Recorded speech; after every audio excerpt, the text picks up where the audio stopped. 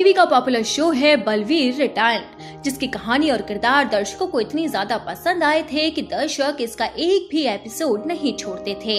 और इस बात का सबसे ज़्यादा श्रेय जाता है अभिनेता देव जोशी को, जो शो के अंदर दब्बू उर्फ़ नकाबपोश का किरदार निभाते हुए नज़र आ रहे थे, जो अपने इस किरदार को इतनी बखूबी पर्दे पर उतार रहे थे कि ये अपने इस किरदार के साथ घर घर में फ़ेमस हो गए थे।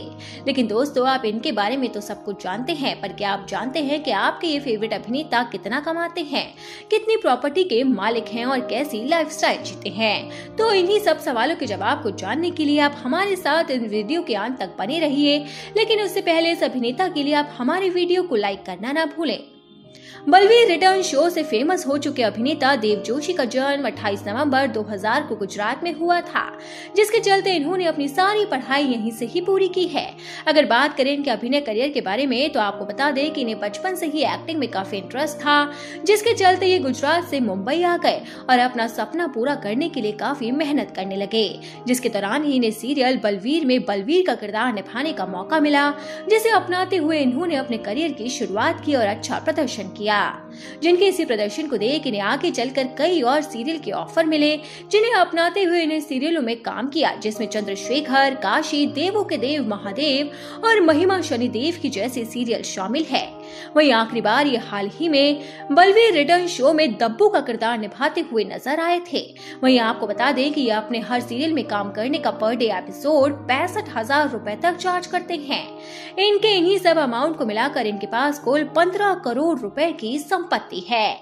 इनमें इन्होंने मुंबई में अपना एक आलिशान बंगला खरीदा है, जिसकी कीमत डेढ़ करोड़ रूपए है, जो दिखने में ही वाकई खूबसूरत है, जिसमें हर चीज़ को घर वालों की ज़रूरत के हिसाब से सजाया गया है। लेकिन अगर बात करें इनकी प्रॉपर्टी के अलावा इनके लाइफस्टाइल के बारे में तो आपको बता दें कि ये काफ़ी लग्जरियस लाइफस्टाइल जीते हैं।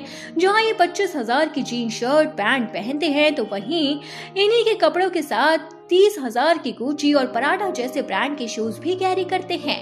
और साथ ही साथ ये गॉगल्स पहनने के भी काफ़ी शौकीन हैं, जो तकरीबन सात हज़ार के होते हैं। अब अंत में नज़र डालते हैं इनकी लग्जरियस लाइफस्टाइल को और भी मस्त बनाने वाले कार कलेक्शन के बारे में।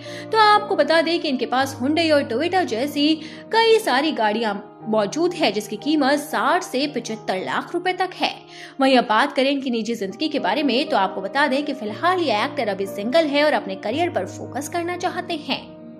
तो दोस्तों, आपको देव जोशी की लाइफस्टाइल के बारे में जानकर कैसा लगा? आप हमें कमेंट बॉक्स में कमेंट कर कर ज़रूर बताएँ। और साथ ही छोटे पर्दे से जुड़ी ऐसी मसालेदार खबरों को जानने के लिए आप हमारे चैनल को सब्सक्राइब करना ना